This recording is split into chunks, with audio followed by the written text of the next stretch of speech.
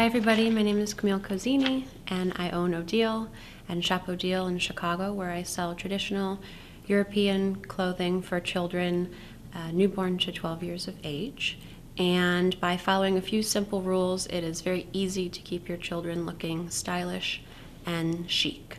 So today we're going to talk about what kind of shoes you can pair mm-hmm. with a suit coat. So you've got a lot of options. You've got a loafer, you've got a driving shoe, you have got a buck, um, otherwise known as a desert boot, and then of course you've got a saddle shoe, which would be a very formal option.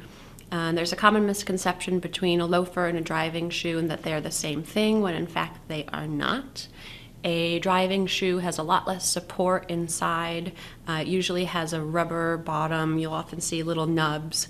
Um, it's very flexible, very bendable, and is meant to be worn without socks and is sort of a more casual option. You'll oftentimes see tassels on the front. So that is the driving shoe. A loafer has a lot more support, um, usually has a really well established last and is something that is meant to be worn day in and day out.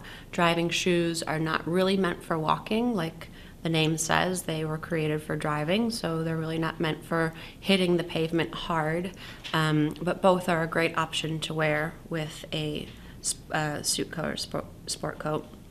A buck is a fabulous option for both boy and girl.